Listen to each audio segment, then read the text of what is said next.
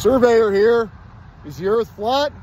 Let's find out. I've got the instrument set up on that point there, which is FIPS, set by the Highway Division. Let's do some research.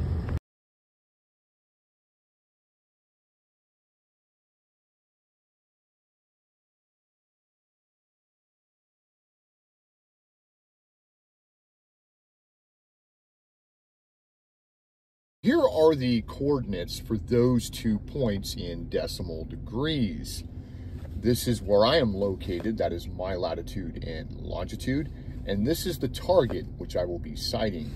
And I come up with a calculated distance of 34.159 miles.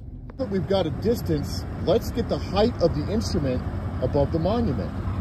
I've got a four, it's like a 466. So now that we have the data recorded, we've got both vertical and horizontal positions of the mark or point of observation to the target, which is Mount Wrightson, we can calculate what the angle of elevation or alpha angle should be on a flat earth. So this is where I'm located here, right above that monument, and that has an elevation of 2895. I then add the height of the instrument to it, which gives me an observation height of 2899.66. This over here is Mount Wrightson. I'll be sighting up to the summit, which is a little bit above that marker that's up there. And Mount Wrightson has an elevation of 94.56. Then what I want to do is I want to find this side of the triangle because ultimately I want this elevation angle here. So I take this here and I subtract out the total observation height, which reveals this opposite side of the triangle. And then I just use basic trigonometry to find that alpha angle. I divide this into that, hit the arc tangent, and I return an angle of 2 degrees, 4 minutes, and 54.7 arc seconds. Earthers love to say that Earth curvature calculators don't match reality. So here we are, this is reality. Here is the flat Earth. There's my total observation height of a 2899.66. That's my target distance, and that's Mount Wrightson. I calculated a 2 degrees, 4 minutes, and 54.7 arc seconds. And Walter Bislin calculated the same for the flat Earth prediction. Now let's see if the Earth actually measures flat. I've got a theodolite out here that just cannot measure curvature, so it must be able to measure flat Earth.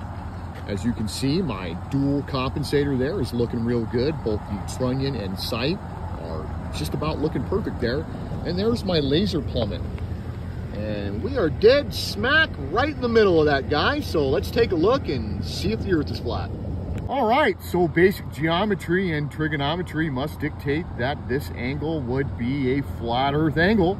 We've got a two degrees, four minutes and 54.7 arc seconds. I'm gonna round that up to 55. I've got a two degrees, four minutes and 55 arc seconds. Let's take a look at the scope and see if that crosshair is bisecting the peak of Mount Wrightson.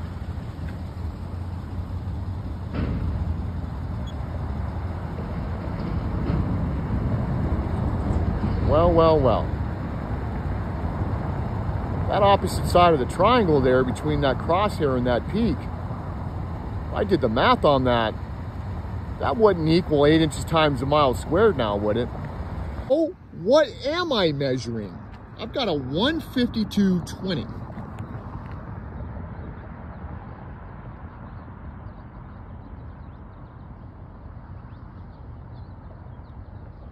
And what does Bislin say we should have?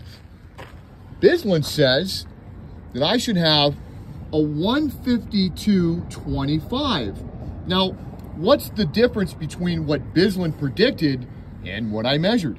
The difference between what Walter Bislin predicted and what I actually measured is five arc seconds, but we want to get that into feet.